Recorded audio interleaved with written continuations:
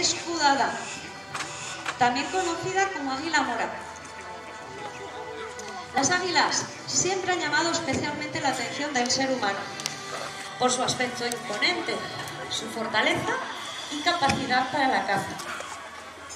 Podéis ver que se trata de un águila de tamaño medio, que bate con fuerza sus largas y anchas alas para mostrarnos su belleza y elegancia en vuelo. Su hábitat preferido son las altas planicies andinas o las inmensas praderas de la pampa argentina, Uruguay o Perú.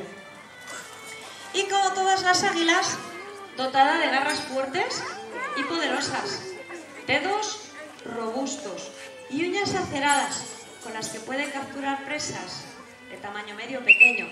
Presas que además puede capturar en el suelo o en el aire. Estáis viendo a un macho adulto que has visto algo, ¿verdad? Hombre, estaba yo viendo que miraba mucho. Algún trocito de comida que se le ha caído a algún compañero ha dicho, no se me va a escapar. Bueno, pues os decía que estáis viendo a un macho adulto. En la segunda parte de la exhibición vamos a ver a dos hembras. Vais a ver que son más grandes que él. Y como os digo, las veremos cazando, ¿eh? para que podáis ver cómo se desenvuelven en la naturaleza. Venga, un aplauso también para él.